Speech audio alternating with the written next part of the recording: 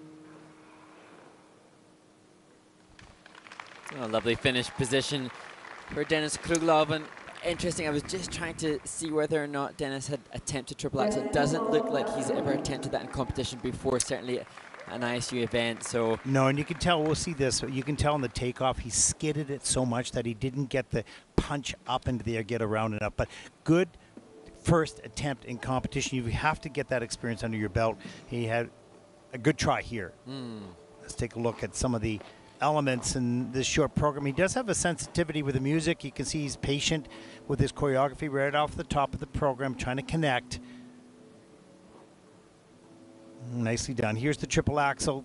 You can see that skidding edge, and he's quarter, uh, he's under rotated uh, in the judging system. So, but good try. Here's the Lutz. Too far forward, but watch. How did he do this? no, amazing. Yeah, amazing. Under rotated on the triple toe loop. And the triple flip was pretty good here. Nice.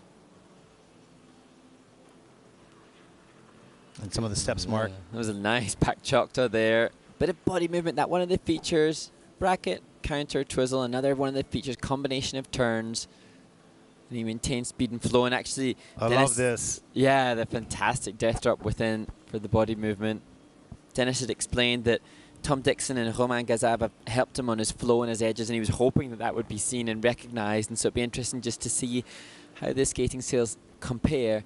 That said, the fall on the axel and the mistake on the jump combo, it will have an impact. It kind of nullifies the gain that you will have made, but that's part of the process and experience. Ah. And there's the heart. Yeah. It's a nice, very, very nice connection with the music. Um, lovely presentation. Mistake on the axel. Um, and a struggle. How he got through the triple lutz, triple toe loop. Just fantastic fight, of course. And you, that is a skill in itself, learning how to fight to save an element. And the decision making. Do I really go for this? I don't have a lot of speed. Should I go for it? Should I not go for it? Decision's got to be good, and the fight's got to be good.